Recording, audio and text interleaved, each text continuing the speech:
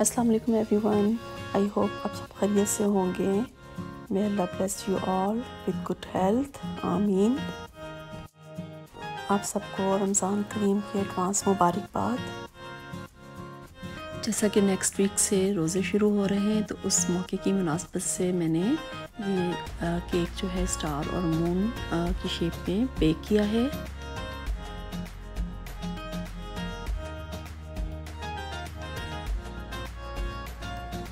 Recipe शुरू करने से पहले आपने जो केक जिसमें आपने बेक करना है, उसको रेडी करके रख लें।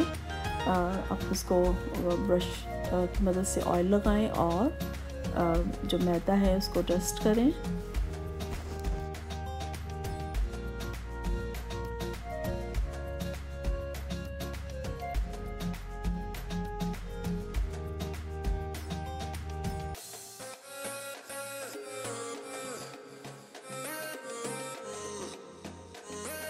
स्टेप वन में सबसे पहले हमें फाइव एग्स चाहिए।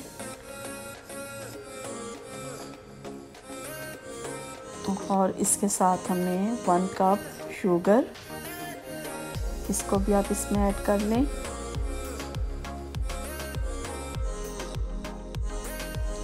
और वन टीस्पून वनीला एक्सट्रैक्ट आप इन तीनों चीज़ों को अच्छी तरह से मिक्स करें 15 मिनट्स तक। और इसकी आपने शुरू में स्पीड जो है वो कम रखनी है और आहिस्ता आहिस्ता आपने इसकी स्पीड को बढ़ाना है और 15 मिनट्स तक आपने इसको इतना ज़्यादा मिक्स करना है कि आप इसका जो बैटर है वो देख सकते हैं कि वो फ्लफ़ी थिक हो जाए।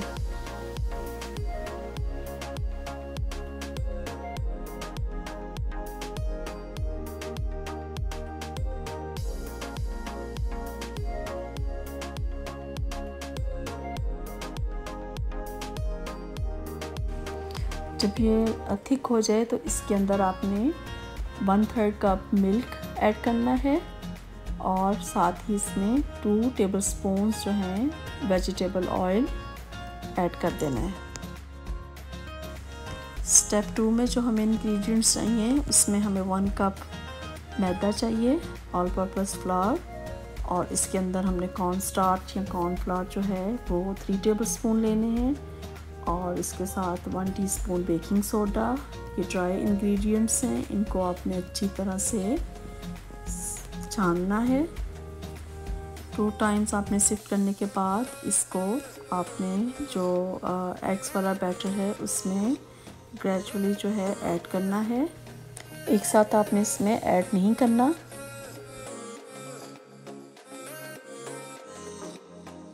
ना ही इसको ओवर मिक्स करना है। यानी जैसे आपको लगे कि मैदा जो है, जो ड्राई इंग्रेडिएंट्स हैं, वो इसमें मिक्स हो गए हैं तो आप इसको मिक्स करना बंद कर दें।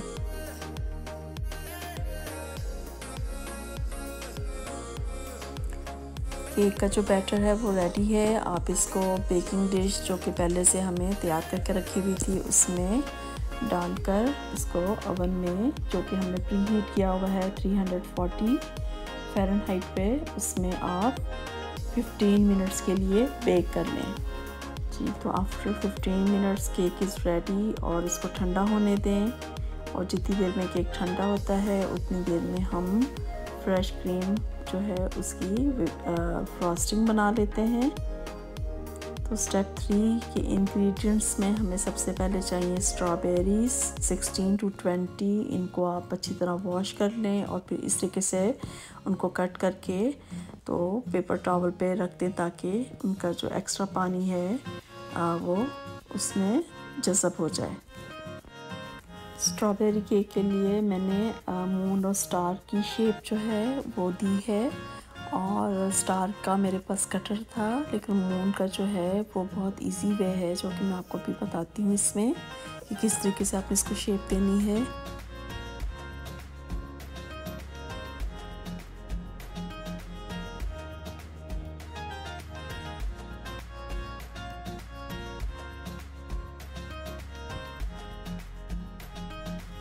इसके अलावा हमें इसकी विपिंग क्रीम के लिए two and half cups whipping cream और हाफ़ कप जो है वो शुगर चाहिए।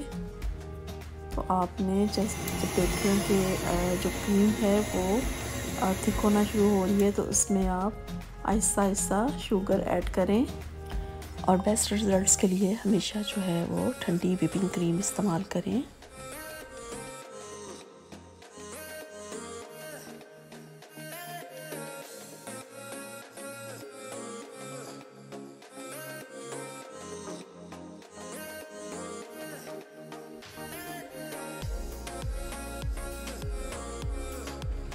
आप सबसे पहले केक पर फ्रेश क्रीम की लेयर लगाएँ एंड देन स्ट्रॉबेरीज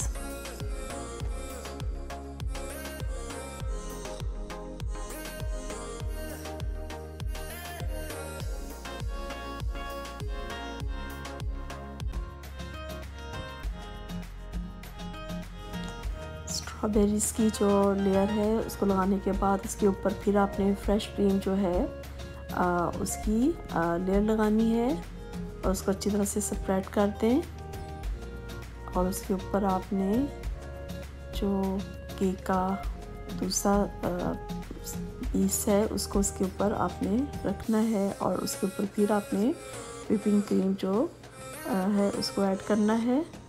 और आप साइड पे स्ट्रॉबेरीज लगा सकते हैं या अपनी पसंद के मुताबिक जैसी भी जैसा भी आप इसको डेकोरेट करना चाहते हैं आप कर सकते हैं। और इसके साथ साथ मैंने जो है इसके ऊपर इस तरीके से डिज़ाइन बनाया है और इसमें मैंने थोड़ा सा वनीला एक्स्ट्रा जो है वो ऐड किया है।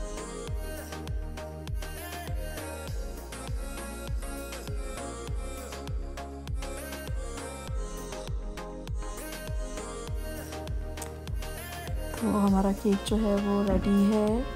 आप इसको वन आवर के लिए फ्रिज में ज़रूर रखें, उसके बाद आप इसको सर्व करें। जैसा कि आप देख सकते हैं केक देखने में बड़ा ज़बरदस्त लग रहा है और इसके साथ साथ खाने में भी बहुत मज़े का था। जी तो कैसा लगा आपको आज का केक आप अगर इसको ट्राई करें तो मुझे फीडबैक ज़रूर दीजिएगा। और आप इसकी आइसिंग जो है, वो फ्रेश क्रीम की बजाय बटर के साथ भी कर सकते हैं, ठीक है? इट्स अप टू यू तो आपकी चॉइस है, जो भी आपको चीज़ पसंद हो, उसके मुताबिक आप इसकी फ्रॉस्टिंग इस बना सकते हैं। Thank you so much for watching my video please subscribe like and share my channel Fauzia Furqan Mona's kitchen and follow me on my Instagram account Mona's kitchen thank you so much stay healthy stay safe take care मिलते हैं नई recipe के साथ. अल्लाह हाफिज़.